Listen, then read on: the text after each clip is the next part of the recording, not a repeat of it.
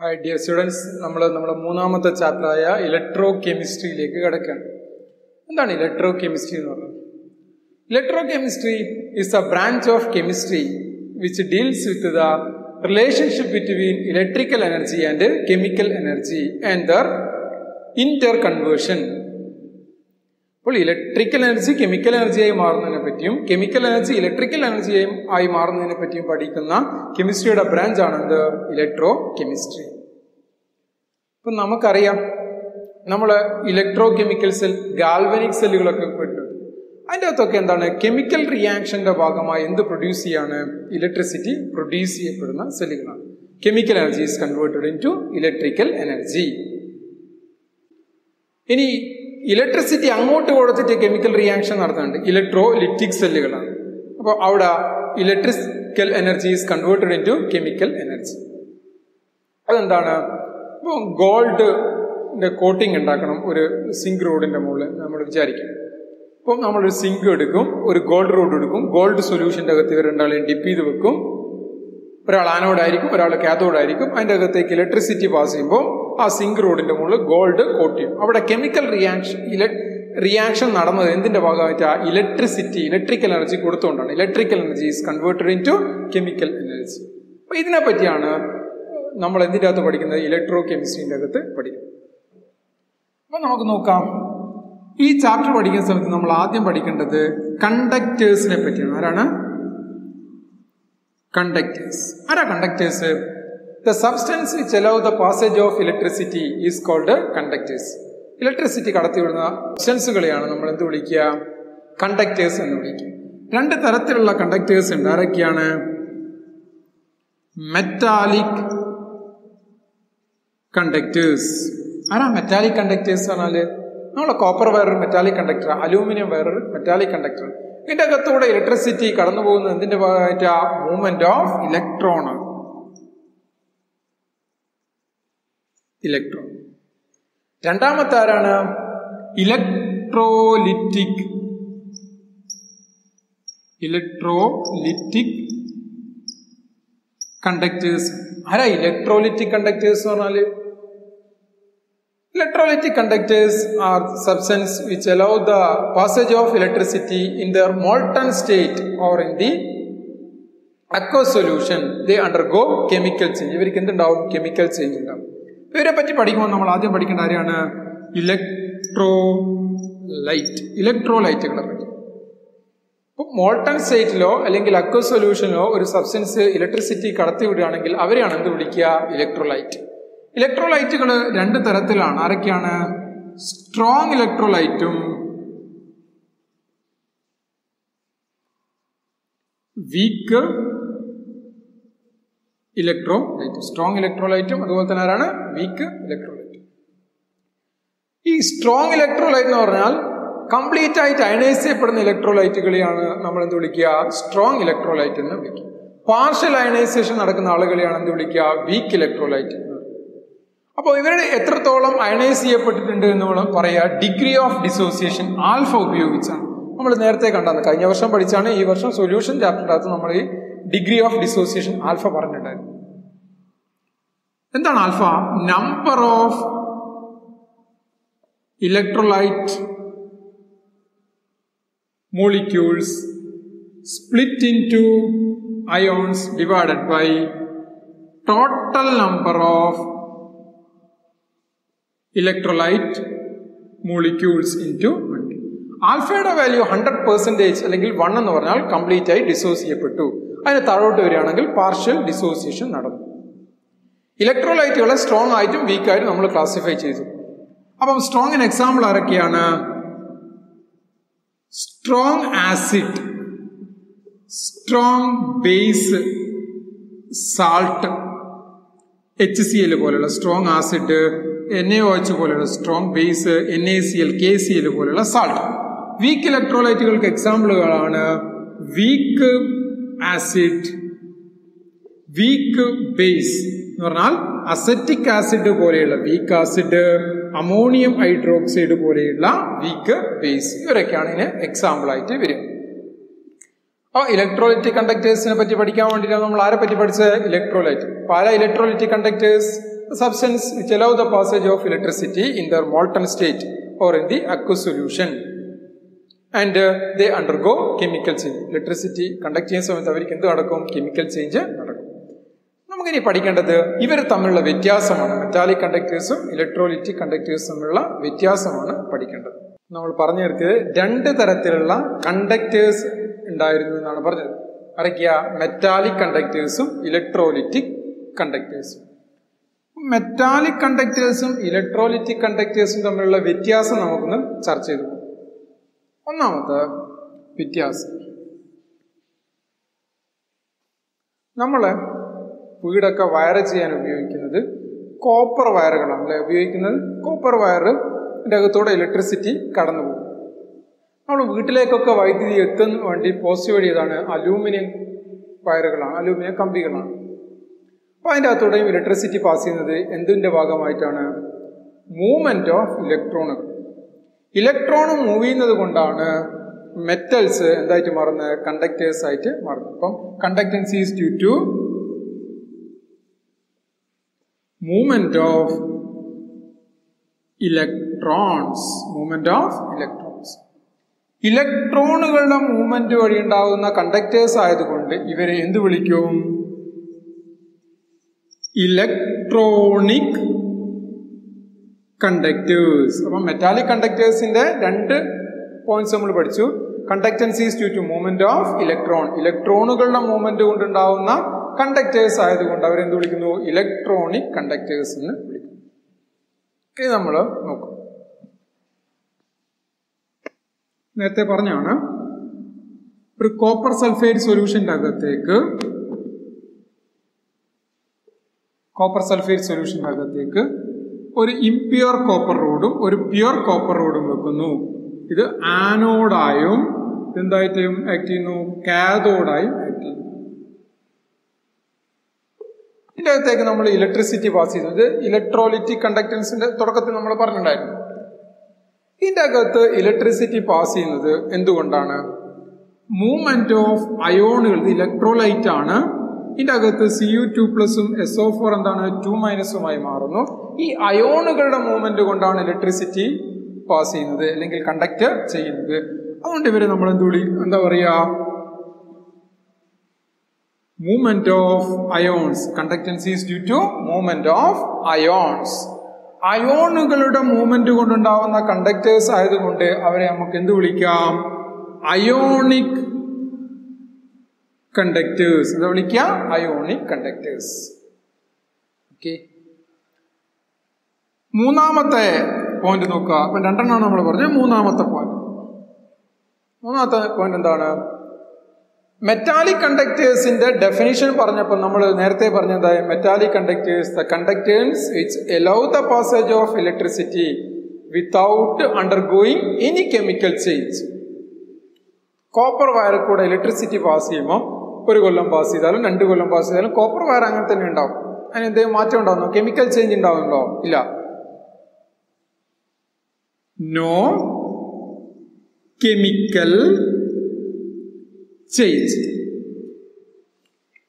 ഇനി ഇലക്ട്രോലൈറ്റിന്റെ അകത്തൂടെ ഇലക്ട്രോലൈറ്റിക് കണ്ടക്ടേഴ്സിന്റെ അകത്തൂടെ ഇലക്ട്രിസിറ്റി പാസ് ചെയ്യുമ്പോൾ ഇപ്പം ഇലക്ട്രോലൈറ്റ് ആണല്ലോ കോപ്പർ സൾഫേറ്റ് കോപ്പർ സൾഫേറ്റ് എന്തായി ഡീകമ്പോസ് ചെയ്യപ്പെട്ടു? അയോണുകളായി. സി യു ടു പ്ലസും അതുപോലെ തന്നെ ആരാ S O four two minus അപ്പൊ എന്താണ്? Undergo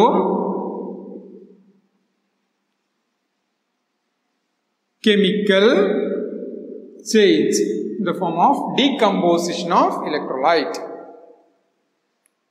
നാലാമത്തെ വ്യത്യാസം നോക്കുക. കോപ്പർ വയറിന്റെ അകത്തൂടെ ഇലക്ട്രിസിറ്റി പാസ് ചെയ്യുമ്പം കോപ്പറിന്റെ അകത്തുള്ള കോപ്പറൊക്കെ ഒരു അറ്റത്തേക്ക് മൂവ് ചെയ്യുന്നുണ്ടോ? ട്രാൻസ്ഫർ ഓഫ് മാറ്റർ നടക്കുന്നുണ്ടോ? ഇല്ല. No transfer of matter matter transfer ചെയ്യപ്പെടുന്നില്ല. ഇലക്ട്രോലിറ്റിക് കണ്ടക്ടേഴ്സിന്റെ അകത്തൂടെ ഇലക്ട്രിസിറ്റി പാസ് ചെയ്യുന്ന സമയത്ത് എന്ത് സംഭവിക്കുന്നുണ്ട്? ട്രാൻസ്ഫർ ഓഫ് മാറ്റർ നോക്കുക. നമ്മൾ അക്വ സൊല്യൂഷൻ ഓഫ് സോഡി ഇവിടെയും സംഭവിക്കുന്നുണ്ട്. സോഡിയം ക്ലോറൈഡിനെ ഇലക്ട്രോളിസിസ് നടത്തിയത് കഴിഞ്ഞ വർഷം ഓർമ്മയുണ്ടോ? ഹൈഡ്രജന്റെ പ്രിപ്പറേഷന്റെ അകത്ത്? അപ്പം ഇത് എൻ എ പ്ലസും സി എൽ മൈനസും ഇത് കാഥോഡ്. ഇതാരാണ്? ആനോഡ് കാറ്റയോണുകൾ എവിടത്തേക്കാ പോവുക കാത്തോഡിലേക്കും ആനയോണുകൾ എവിടത്തേക്ക് പോവും ആനോഡിലേക്കും. ഇലക്ട്രോലൈറ്റിന്റെ അകത്തുള്ള മാറ്റർ എന്ത് ചെയ്യപ്പെടുന്നു? ഇലക്ട്രോഡിലേക്ക് ട്രാൻസ്ഫർ ചെയ്യപ്പെടുന്നു. അപ്പൊ എന്താണ്? Transfer of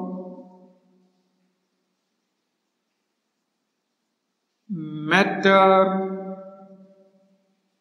takes place അല്ലെ? ഇവിടെയുണ്ട് ഈ സി യു ടു പ്ലസ് എവിടെ പോകുന്നുണ്ട്? ഈ ഇവിടുന്ന് സി യു ടു പ്ലസ് അയോണുകൾ ഇലക്ട്രോലൈറ്റിനകത്തേക്ക് വന്ന് ഇവിടുന്ന് എവിടത്തേക്ക് ഡെപ്പോസിറ്റ് ചെയ്യപ്പെടും? കാഥോഡിലേക്ക് ഡെപ്പോസിറ്റ് ചെയ്യപ്പെടുന്നുണ്ട്. Transfer of meter matter takes place fifth one is metals എന്ന് പറഞ്ഞു കഴിഞ്ഞാൽ എന്തായിരുന്നു? മെറ്റൽസിനെ പിന്നെ നമ്മൾ metal positively charged ions in the sea of electron solid state എന്ന് പറയുന്ന ചാപ്റ്ററിന്റെ അകത്ത് പഠിച്ചിട്ടുണ്ടായിരുന്നു.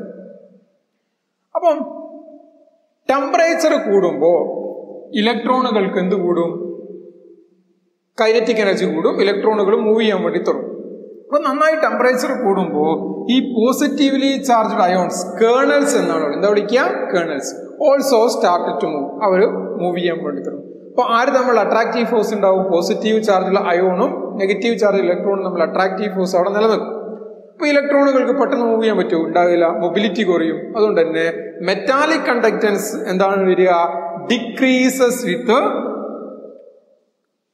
decreases with increase in temperature അപ്പൊ അത് ഓർത്തു വെക്കണം. പല പ്രാവശ്യം ചോദിച്ചാണ്. Metallic conductance decreases with increase in temperature why on increase in temperature the positively charged kernels also start to move which resist the flow of electron that's why metallic conductance decreases with increase in temperature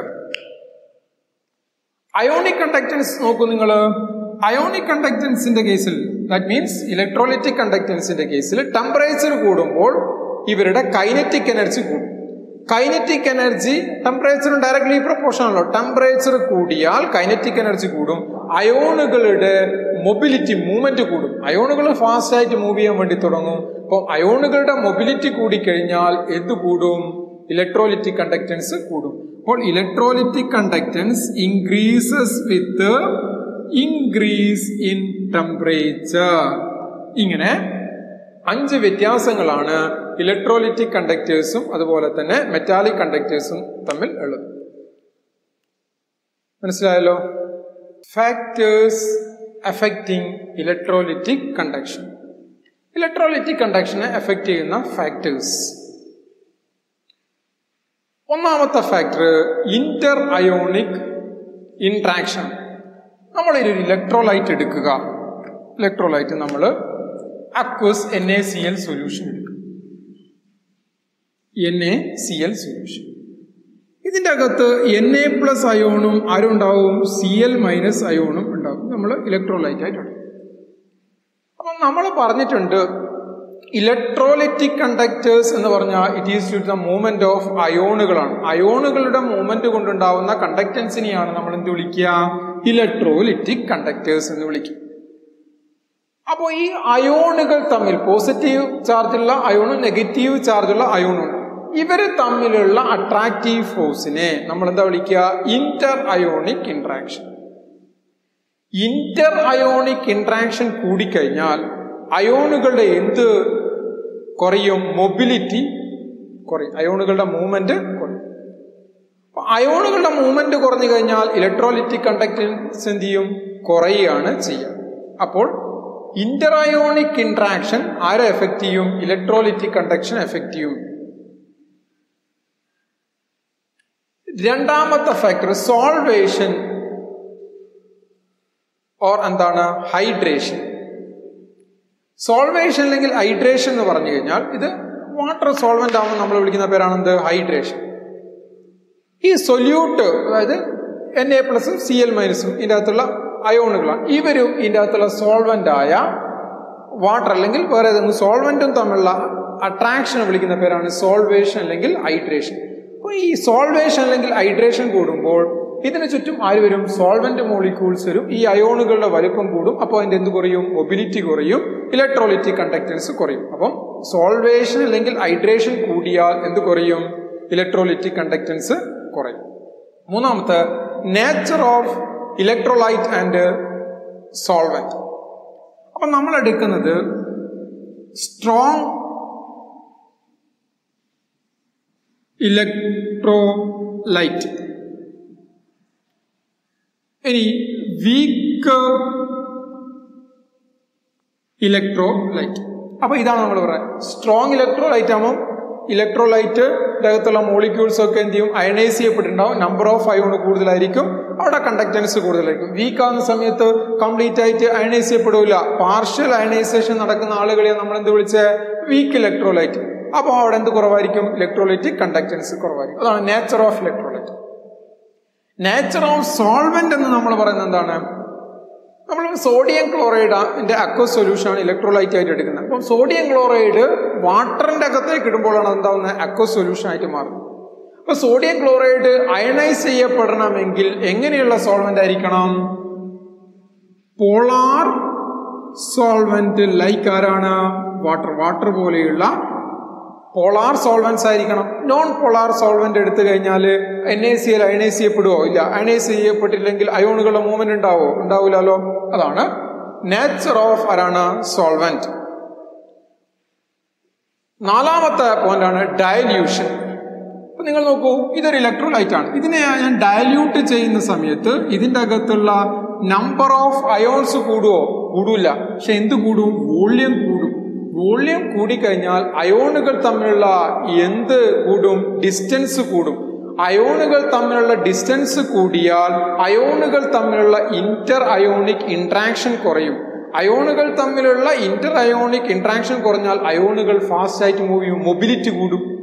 mobility കൂടിക്കഴിഞ്ഞാൽ എന്ത് ചെയ്യും? Electrolytic conductance കൂടും. അപ്പം dilute ചെയ്താൽ electrolytic conduction increases it is due to the increasing mobility of ions അടുത്തത് temperature temperature കൂട്ടിക്കഴിഞ്ഞാൽ ഈ അയോണുകളുടെ എന്ത് കൂടും? കൈനറ്റിക് എനർജി കൂടും. കൈനറ്റിക് എനർജി നമ്മൾ തൊട്ട് മുന്നേ പറഞ്ഞാണ് അപ്പോൾ കൈനറ്റിക് എനർജി കൂടിക്കഴിഞ്ഞാൽ മൊബിലിറ്റി കൂടും. മൊബിലിറ്റി കൂടിക്കഴിഞ്ഞാലോ? ഇലക്ട്രോലിറ്റിക് കണ്ടക്ടൻസ് കൂടും. അപ്പം ഇലക്ട്രോലിറ്റിക് കണ്ടക്ടൻസ് എന്താണ്? ഇൻക്രീസസ് വിത്ത് ഇൻക്രീസ് ഇൻ എന്താണ്? ടെമ്പറേച്ചർ അപ്പോൾ ഇലക്ട്രോലിറ്റിക് കണ്ടക്ടൻസിനെ എഫക്ട് ചെയ്യുന്ന ഫാക്ടേഴ്സ് എന്തൊക്കെയാണ്? ഒന്നാമത്തത് ഇന്റർ അയോണിക് ഇന്ററാക്ഷൻ രണ്ടാമത്തത് സോൾവേഷൻ ഓർ ഹൈഡ്രേഷൻ മൂന്നാമത്തത് nature of electrolyte and solvent നാലാമത്തത് ഡയല്യൂഷൻ അഞ്ചാമത്തത് ടെമ്പറേച്ചർ പല പ്രാവശ്യം ചോദിച്ചിട്ടുള്ള ഇതാണ് ഫാക്ടേഴ്സ് എഫക്റ്റിംഗ് ഇലക്ട്രോലൈറ്റിക് കണ്ടക്ടൻസ്